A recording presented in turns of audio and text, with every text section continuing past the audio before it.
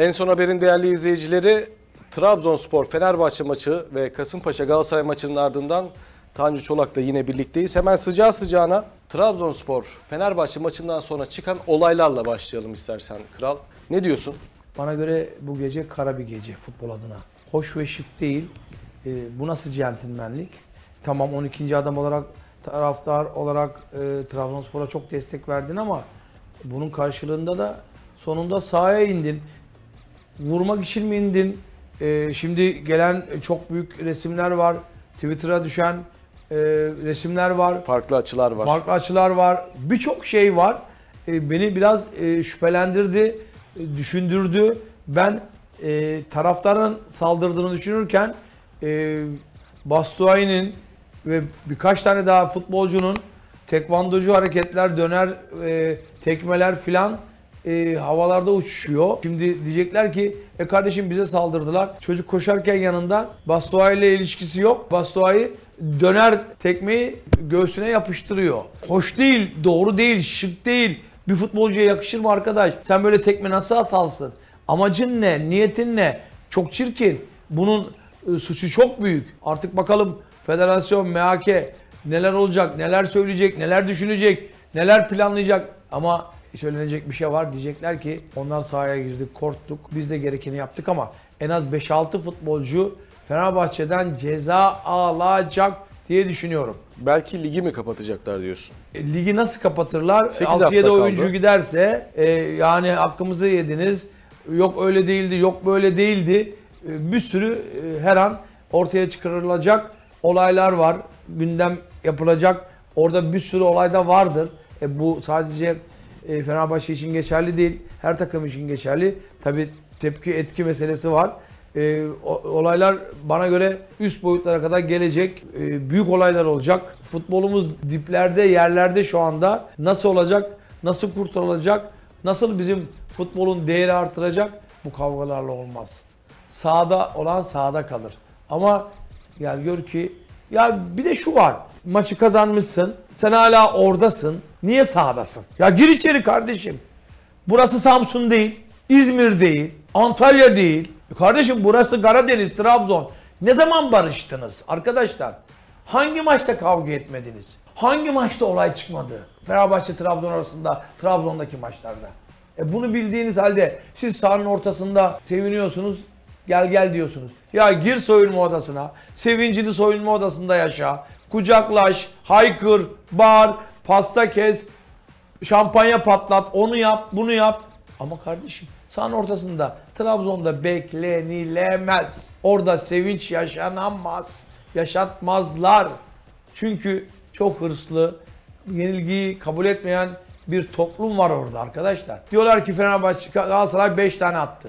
E Galatasaray hakkıyla çıktı tık tık tık golleri attı. Ama diyorlar ki Trabzonlular hiç kızmıyorlar, hiç sert oynamıyorlar. Su atmıyor taraftar, 12. adam yok. Ya kardeşim bunu ben bilemem. Yani e, e, geriden gelen çok iyi bir dostluk var, arkadaşlık var. Ya futbol centilmenliktir, futbol sevgidir, futbol birlikteliktir arkadaşlar. Bu sporu farklı bir yere getirmeyelim. Olaylar nereye gidecek, nereye varacak, nasıl olacak? Bunlar kolay şeyler değil. Güzel şeyler hiç değil. Ee, bakalım gece nasıl bitecek. Biz maç bitti, e, buraya geldik. En son haberin yorumcusu olarak e, güzel şeylere imza atalım istiyoruz. Geçen hafta 36-40 bine yakın izlenmemiz varmış. Onlara da teşekkürlerimizi sunalım. Her geçen gün üste çıkıyoruz. Daha da iyi olacak. En son haberden vazgeçmeyin. Üye olmayı da unutmayın. Evet Tanju abi ligin boyu kısaldı. Ligin boyu kısalmışken heyecanlı dakikalar spor severleri elbette bekleyecek ama bugün baktığımız zaman Fenerbahçe Trabzonspor karşısında yani korakor bir mücadele vardı ve e, ciddi de pozisyon üretti. Güzel de goller attı. Fred çok güzel iki gol attı. Ama her böyle güzel bir organizasyonun futbol maçının sonunda Türkiye'de ne yazık ki futbolu konuşmayacağımız dakikalar ortaya çıkıyor bir şekilde. Bugün futbola bakacak olursak, Fenerbahçe'nin bugünkü oyunu ligin kalan son 8 haftasında Fenerbahçe'ye yeterli olacak mı? Biraz evvel de söyledik ya sevgili Eyüp. e, kaç futbolcu ceza alacak? Buna bakmak Şimdi Osterwolde'yi gördük. Evet. Osterwolde Twitter'a var. düşen açılardan gördük. Evet. Batshuayi'yi gördük. Batshuayi gördük. Ee, Osayi Samuel'i gördük. Samuel'i Fred, gördük, Fred'i evet. gördük. Ya bunlar çok değerli oyuncular. Bunların ceza alması yani bir haftada alsa, beş haftada alsa Yok en az Fenerbahçe'yi 2-3 haftadan başlıyor. Öyle sahada yumruk atmak, tekme atmak, e, kavga etmek bunlar 52. maddeye girermiş. E şimdi gelirken radyoda dinledim. Bayağı cezaları ağır. ya bunlar savunma amaçlı dahi olsa bu futbolcular ne yazık ki ceza, alacak gibi alacaklar. görünüyor. Evet, ya bu ceza Fenerbahçe'nin futbolunu, Kaçarı yok. şampiyonluk yarışını nasıl etkileyecek sence? E, tabii etkiler E, ama şimdi Fenerbahçe'nin yedek kulübesi de iyi. Bu gerçeği de bilelim. Ha, ama burada Fe- Fenerbahçe yönetimi tutar da der ki ben ligden çekiliyorum. Bunu da diyebilirler. Sen orada 5-6 futbolcuya cezayı ver. En kolay çözüm. Ligden çekiliyoruz. Bekliyor musun böyle bir şey? Bekliyorum. Fenerbahçe kulübü daha Trabzon'a gitmeden Selahattin Baki neler söyledi neler. Ne gereği var? Niye gerdiriyorsun ortamı? Neden? Niye? Niçin? Daha maçın biteli 10 dakika olmuş. Galip gelmişsin. 90 artı 3'te 4'te penaltı atmışsın. Penaltı penaltı mı tartışılır? Trabzon'daki maç için MHK'ye haber yolluyorsun. Futbol Federasyonu'na çağrıda bulunuyorsun. E Trabzonlu susar mı? Trabzonlu dinler mi? Trabzonlu kabul eder mi? Arkadaşlar yani Türkiye'nin yapısını biliyoruz. Kimler ne kadar gergin, kimler ne kadar gaddar, kimler ne kadar futbolu seviyor, kimler futbolun içinden mi geçiyor, dışından mı geçiyor?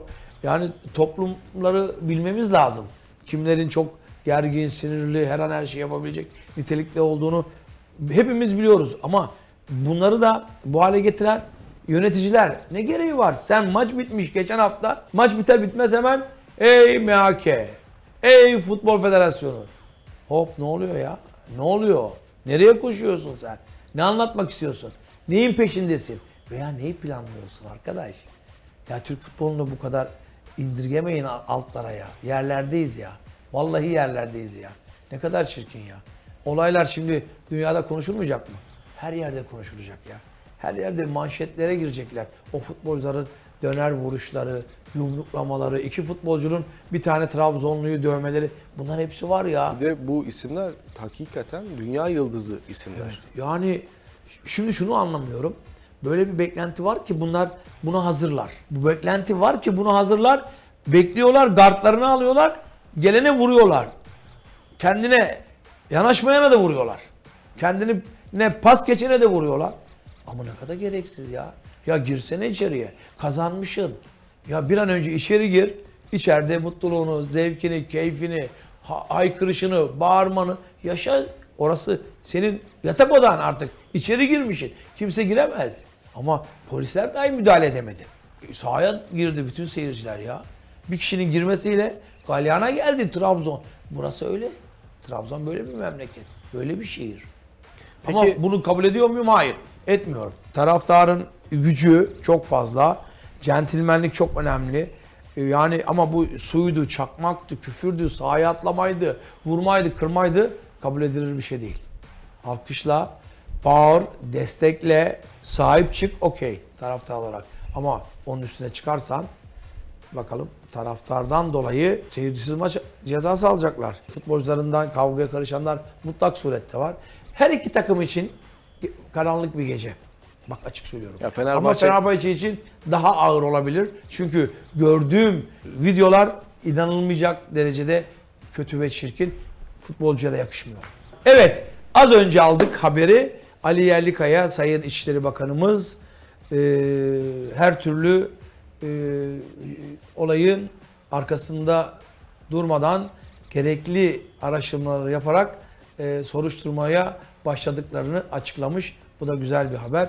İçişleri Bakanlığı bile e, futbolun içine girdi. Nasıl olacak, nasıl e, sürecek bu süreç bilmiyorum. Ama bildiğim tek bir şey var. Futbol Federasyonu'na çok önemli görev düşüyor. MHK'ye çok önemli bir görev düşüyor. Taraf olmadan ne hak ediliyorsa o cezaları vermeniz lazım. Yoksa bunun önünde duramazsınız. Ceza vermezseniz bu takımdaki oyunculara, taraftara, kulüplere bu cezaları vermek zorundasınız. Lütfen verin. Trabzonspor taraftarları ve futbolcuları teknik heyeti de Fenerbahçe'nin 3. golünden önceki Umut Bozok'a yapılan pozisyonun faul olarak itirazını gerçekleştirdiler. Halil Umut Meler'in de tam gözünün önünde olan bir pozisyon var da çağırmadı zaten. Sence o pozisyonda Fenerbahçeli futbolcunun Umut Boz'a bir dirseği var mıydı? Var. Bu bir gerçek. İşte öyle bir tesadüf. O anda ka- kaçırdığı an düdüğü çalamıyor. Kaçırmayıp düdüğü çalsa var ya o iş bitecek. Ama çalamadığı için ne oldu? Trabzon kalesine gol oldu. Gol olunca ne oldu? Her şey gerildi. Atmosfer, futbolcular, taraftar. Beklenmedik bir gol. Niye? 2-2 olduktan sonra bak bir takımın 2-0'dan 2-2'ye getirmesi de çok önemli. Çok büyük değer. Çok büyük e, güç harcama o. Ama burada 12. adamın işte desteği var. Bağırması, çağırması e, ve futbolcuların da buna karşılık sertlik, e, daha çok e, içeride bulunan o gücü kullanmak istemesi, sahada ona yansıması bunlar çok önemli, çok değerli. Ama 2-2'ye gelmişsin. 2-2 de önemli ve çok değerli bir sonuç 2-0'dan. 3'ü yedikten sonra hiçbir takım onu kaldıramaz. Yani şöyle bir manşet çıkar mı bu geceden? Fenerbahçe skor olarak 3-2'lik bir galibiyet aldı. 3 puan aldı ama aslında kaybetti mi? Ama onu ilerleyen zamanda göreceğiz. Şimdi ne ceza alacaklar, nasıl bir rapor yazılacak. Bunları bilmeden e, bunu konuşmamız şık olmaz, doğru olmaz. Hayalci konuşmamız Ama oluruz. Futbol Federasyonu görüntülere yönelik de maç sonrasında çıkan raporlarda olmayan, hakem raporlarında olmayan görüntülere yönelik de çok ceza verdiği de oldu geçmişte. Vallahi oldu ama olmayanlar da oldu. Hepsi olmadı Eyüp. Orada ilişkiler çok önemli. Futbol Federasyonu o anda e, kim daha ağırsa, kim daha güçlüyse onun tarafında oluyor. Icardi olunca ceza, e, bazen Fenerbahçe olunca ceza olmuyor. Bunlar e, neye göre değerlendiriyorlar? Nasıl bulgular var ellerinde bilemiyorsun, açıklamıyorlar. Ama şu bir gerçek, Türk futbolu bu akşam çok büyük kara bir geceyi yaşadı. Ben şunu da iddia ediyorum Eyüp, futbolcular içinde de dayak yiyen var. Darbe alan var, sakatlanan olabilir. İddia ediyorum e, hastaneye gidip doktorlardan rapor da alacaklar. Büyük bir rezalet. Rapor da alacaklar. Evet. Türk İşte futbolu adına çok Batshuayi büyük bir alır. rezalet. E, dayak yiyen de alır, dayak yemeyen de alır. İşte orada planlamayı yapacaklar. Statlarımızda, statlarımızda böyle bir zafiyet var mı Tanju abi? Yani Ne gibi? E, taraftarların olası sahaya inmesine önlem olarak Türkiye Futbol Federasyonu ya da stat yetkilileri bu tip heyecanı yüksek maçlarda ekstra önlem almıyorlar mı? Bu nasıl bir durum? Bütün önlem e, poliste, saha içi polise ait. E, spor e, polisleri var. Onlar görevli. E, onlar hazırlanması lazım. Onlar bu atmosferin olabileceğini düşünmeleri lazım. Ona göre oraya e, polisleri koymaları lazım. Orada da eksiklik var. Olayın tüm açılarla, tüm sürecinin aydınlatılması şart bir gece yani. Sen ne diyorsun? 25-30 kamerayla çekiliyor. Bunların tek tek araştırılmalı, önüne, önüne koyulmalı. Hiç kimseden korkmadan, çekinmeden bunlar ifşa edilmeli. Neyin ne olduğu ortaya mutlak surette çıkmalı. Çıkmazsa bunun önüne geçemeyiz. Cezalar olmazsa bunun önüne yine geçemeyiz. Bu kaos devam eder. Bu şiddet devam eder. Eğer sen bunları cezalandırmazsan sana söyleyeyim bu şiddetin önüne geçmek mümkün değil. Galatasaray'a gelelim. Galatasaray Kasımpaşa'yla oynarken ciddi hani böyle ecel telleri döktü taraftar. Ee, ama Okan Taraftar Buruk döktü. şöyle ufak bir yorum vereyim ben sana abi. Hani Okan Buruk sanki ben gol atmaya çıktım. Gol yemek umurumda değil gibi bir takımla çıktı. Yani Berkan'ı sol stoper mecburiyetinde oynattı. Ee, dediğim gibi sanki ya yesem de atacağım nasıl olsa kafası vardı sanki. Yok ne ya dersin? öyle bir dünya var mı? Garantisi var mı o golün? Galatasaray ne içten oynadı, ne kalpten oynadı, ne koştu, ne de ikinci vitesten üçüncü vitese geçti. Hepsi bahar havasındaydılar. Hava güneşli, koşmayalım biz nasıl olsa ayağa oynarız, geçişleri iyi yaparız, iyi futbolcularımız var, skoru buluruz. Ha, öyle papaz pilav yemez her zaman. Öyle bir dünya yok. Sabek yok. Kaan benden daha geniş, daha iri. Atağa kalkacak yok. Pas verecek yok. Orta yapacak yapmıyor. Geri oynuyor, yanına oynuyor. Geri oynuyor, yanına oynuyor. Ya iddia ediyorum 22 oyuncunun en ağırı. Sağdaki 22 oyuncunun en kilolusu Kaan. Ya nasıl olacak bu ya? Ama elde alternatif yok hocam. Abi o zaman şampiyonla oynayamazsın kardeşim. hatayı 2 numara yapmıyor mu? Evet çok önemli bir oyuncu oradaki. Giden 30 milyona gitti, 35 milyon euroya gitti. E sen yerine koymadın. Bugün Köln de kötüydü. Berkant da kötüydü. Arkadaş bir Nelson ya. E, kaleci evleri şenlikli Mustera. Sen ilk golü gördün mü ya? Böyle çirkin tokatlama olma mı olur Allah'ını seversen ya. Hani Mustera'ydın niye kurtarmadın? Niye üçüncü golü kurtarmadın? Adam bir koydu ceza dışında. Uzun süre sonra Galatasaray taraftarı Muslera'nın ceza sahası dışından yediği bir gole tanıklık etti yani. Evet bir şey daha söyleyebilir miyim? Bu neden biliyor musun? Mustera imza atmadığı için, sahada mutlu olmadığı için maça kendini vermiyor. Sen bir spoiler vermiştin aslında. Bir Tanju Çolak istihbaratı vermiştin. Muslera ile 2 yıllık yeni sözleşme geliyor demiştin. Evet gelecek. Ama abi bunlar 7 aylık. Ya kardeşim onun da bir süresi var. Yani Mustera gibi 13 yıl hizmet etmiş bir futbolcuyu kapı dışarı hiçbir kulüp edemez. Galatasaray bile edemez. Formda mı? Evet. Lider mi? Evet. Türk insanı seviyor mu? Evet. Fenerbahçeli seviyor mu? Evet. Beşiktaş seviyor mu? Evet. Türk halkı seviyor mu? Evet. İyi kaleci mi? Evet. E neyi düşünüyorsun ya? Ya Mustera ben anlamıyorum seni. Bugün sahada yoktun. Hata üzerine hata yaptın. Yakışmıyor. Fatih Terim'di, Arda'ydı, Marda'ydı sorunlar var ya hani parasal sorunlar yatırmış, çekmiş, etmiş. Hatırlarsan 10-15 hafta evvel yine Mustera bir e, bu parayı vermiş alamadığı için bir tavır, surat, gariplik ve moralsizlikten dolayı çok basit goller yedi, hatırlıyorsan. Aynı dönemi yaşıyor şu anda. Niye? Sözleşme imzalanmadı. Ya Mustera senin sözleşmen imzalanacak. İmzalanacak. Kalpten. Çünkü sen seviliyorsun. Sen saygı duyuluyorsun. Çünkü sen iyi kalecisin. E neyi bekliyorsun ya? Ne, niye korkuyorsun? 13 yıldır buradasın ya. Lütfen ya. Lütfen sahada sen kaptansın, lidersin. Senin moralin bozuk olursa, sen sahada futbola kendini veremezsen o zaman Galatasaray yenilmeye mahkum. E bir de sadece Muslera'ya bağlamayalım bunu. Kerem'den ikisi de yok. Ya pas hatası yapmaktan, yavaş oynamaktan, ikinci bölgeden üçüncü bölgeye gidemiyorsun. Adam alan markacı yapıyor, sağ markacı yapıyor. Allah'ını seversen Kasımpaşa her arada, her pozisyonda Galatasaray 2-3 oyuncuyla sıkıştırmadı mı? Ucuma çıkartmadı ya. Hocam Kasımpaşa Galatasaray'a karşı nasıl futbol oynanması Gerektiğini gösterdi. Harikaydı. Evet. Gerçekten Kasımpaşa'yı alkışlıyorum. Kasımpaşa'yı kutluyorum. Galatasaray'a karşı nasıl oynanacağını bugün Türkiye'ye gösterdi. Bakmayın şanssızlıktan dolayı. Şöyle ki o atılan e, kırmızı kartlı ceza var ya o olmasa bugün Kasımpaşa 3-2 Galatasaray'ı yenmişti arkadaşlar. Penaltı pozisyonu ne? Zaha'nın Tabii pozisyonu ki ne penaltı. diyorsun? Tabii ki penaltı. Sağ eliyle çekiyor, indiremiyor. Sol eliyle çekiyor, indiremiyor.